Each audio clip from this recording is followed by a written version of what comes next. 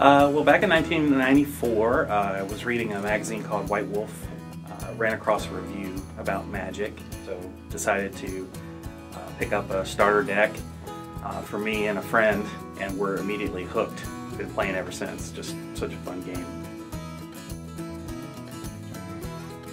Uh, when I first started playing Magic, I was really into multiplayer Magic. Some years back, when Sheldon Menery lived in Virginia, got to talk to him about multiplayer Magic, and he was telling me about this format uh, at the time called EDH.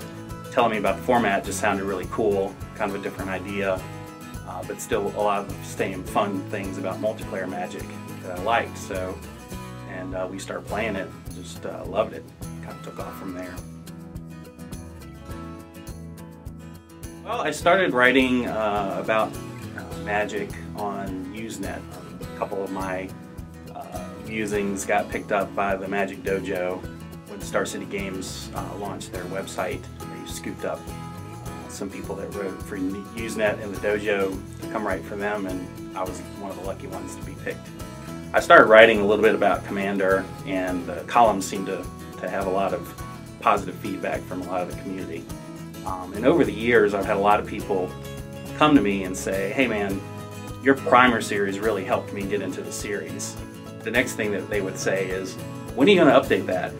So as I was thinking about different ways to do that, uh, it occurred to me that perhaps publishing a book would be helpful for people to be able to kind of find all the information, you know, in one place